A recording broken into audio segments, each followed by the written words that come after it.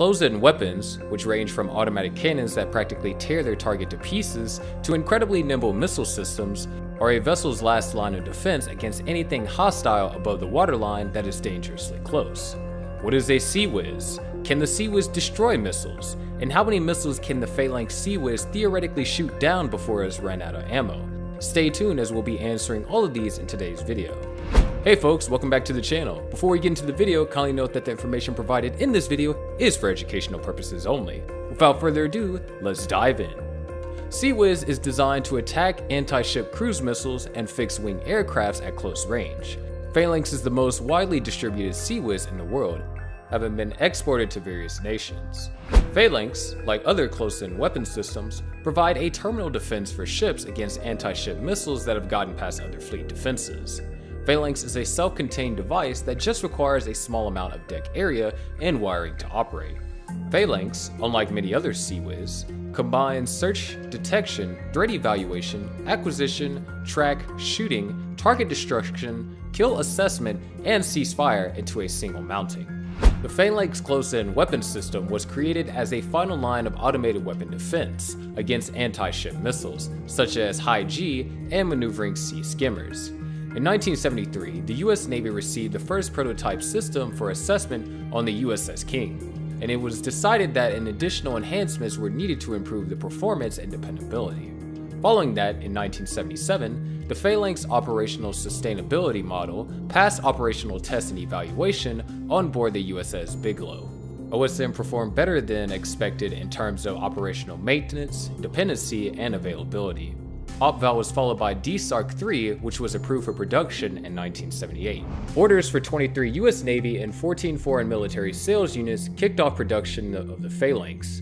In 1980, the USS Coral Sea was the first ship to be fully equipped. In 1984, the Navy began installing CIWS systems aboard non-combatant ships. The system is based on the 20mm M61 Vulcan Gatling gun autocannon, which has been employed by the US military at practically all fighter aircraft and one land installation, the M163 VADS since the 1960s, and is coupled to a Ku-band radar system for target acquisition and tracking. To track incoming targets, this proven technology was paired with a custom-made mounting capable of quick elevation and traverse rates. The mounting is a self-contained device that holds the gun, an automated fire control system, and all other essential components, allowing it to employ its computer-controlled radar system to automatically search for, detect, track, engage, and confirm kills. Phalanx is useful for supporting ships that lack integrated targeting systems and have restricted sensors due to its self-contained nature. The total mass of the unit is between 5,500 and 6,100 kilograms. The CIWS is meant to defend against anti-ship missiles as the last line of defense. Due to design restrictions, its effective range is quite limited compared to modern ASM ranging from 1 to 5 nautical miles. The gun mount travels at breakneck speed and with pinpoint accuracy. The technology requires very little input from the spacecraft, allowing it to work even if the ship is damaged. Only 440 AC 3-phase electricity at 60 Hz and water for electronics cooling are required for functioning. It also features inputs for the correct compass ship's heading and 115 volt AC for the PASS subsystem for full operation, including certain non-essential tasks. To engage targets, the CIWS features two antennae that work together. On the weapon control group, the first antenna for searching is positioned inside the radome on top of the white painted portion. The search subsystem feeds the CIWS computer with information on possible targets' bearing, range, velocity, direction, and altitude. This data is evaluated to decide whether the CIWS system should engage the detected object.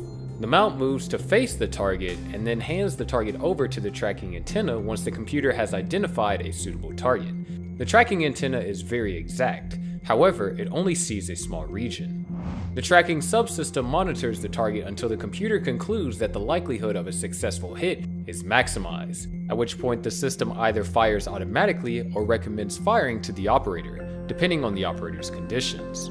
The technology tracks incoming rounds and walks them onto the target as they are fired. The hydraulically powered Block 0 CIWS mount fires at a rate of 3,000 rounds per minute and has a magazine drum capacity of 989 shots. The Block 1 CIWS mount also fired at 3,000 rounds per minute and included a 1,550 round extended magazine drum. With a 1,550 round magazine, the Block 1A and newer CIWS mount fire at a rate of 4,500 rounds per minute. The projectiles fired has a velocity of around 3,600 feet per second. Armor-piercing tungsten penetrator rounds of depleted uranium rounds with sabots are used. The Phalanx CIWS 20mm rounds are meant to degrade a missile's airframe and render its aerodynamic and effectively reducing shrapnel from the bursting projectile to reduce collateral damage. There are two conveyor belt systems in the ammo handling system. The first feeds the gun with the bullets from the magazine drum, while the second feeds the drum with empty shells or unfired rounds. Because threats in computer technology are always evolving, the Phalanx system, like most military systems, have gone through a number of different configurations. Block 0, with the first generation solid state electronics and minimal performance against surface targets, is the most basic type. Radar, ammo, rate of fire, extending engagement elevation to 70 plus degrees, and computing were all improved in the Block 1 upgrade. The system's capability against forthcoming Russian supersonic anti-ship missiles was to be improved with these upgrades. A new computer system was implemented in the Block 1A to fight more maneuverable targets. A forward-facing infrared sensor is added to the Block 1B PSUM to allow the weapon to be deployed against surface targets. This upgrade was created to increase the weapon's performance against slower, low-flying aircraft and to provide ship defense against small vessel threats and other floaters in coastal areas. The FLIR's capability can also be used to counter low observability missiles, and it can be coupled with the RIM 116 rolling airframe missile system to extend the range and accuracy of RAM engagements. An operator can also use Block 1B to visually identify and target threats. All of the United States Phalanx systems are being upgraded to the Block 1B configuration. Other natives that operate Block 1B include Canada, Portugal, Japan, Egypt, Bahrain, and the United Kingdom. Raytheon Missile System was granted a $260 million contract by the US Navy in May of 2009 to do the modifications and other work on the Phalanx. The project is scheduled to be completed in September of 2012. The Counter Rocket Artillery Mortar System, a new Phalanx modification designed to handle small mortar and rocket threats, has recently entered service with the US Army. General Peter Schoomaker, the Army Chief of Staff, requested the system in 2004 because he saw a better way to defend US troops stationed in Iraq. The CRAM system connects a ground-based version of the Phalanx with the Army Lightweight Counter Mortar Radar and a Q-36 Target Acquisition Radar, which detects incoming rounds and pinpoints their origin. When CRAM detects an approaching round, it activates strobe lights to warn nearby employees to take cover, orders the modified Phalanx to fire explosive bullets to destroy the projectile, and dispatches a Hunter UAV with Viper Strike laser designated projectiles to kill whoever shot it. Raytheon is actively marketing Centurion TM, a trailer-mounted version of the Phalanx as part of the CRAM program.